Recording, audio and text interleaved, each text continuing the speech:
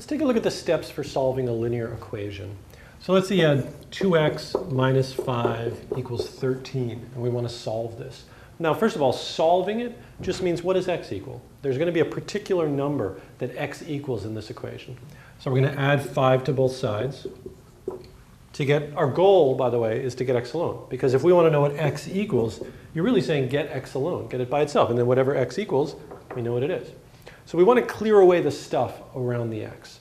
And the way we clear it away um, is we're going to clear away what's furthest first. Sometimes I think of it that way. So we're going to clear this away. Now how do you clear it away? Because it's minus 5, we're going to add 5 to both sides.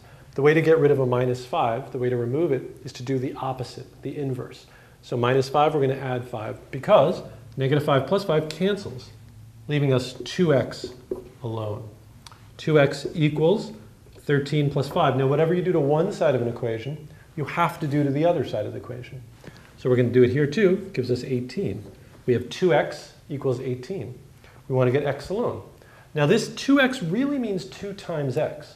And I told you, whenever you want to eliminate a number to get the x alone, you're going to do the inverse. You're going to do the opposite. So the opposite of minus 5 was plus 5. Equally so, the opposite of times is divided. So we're going to take 2x and we're going to divide both sides by 2. 2x divided by 2 cancels to x. That's why we're doing it. But whatever we do to one side, we have to do to the other. So 18 divided by 2 is 9. So in this equation, 2x minus 5 equals 13. We get x equals 9.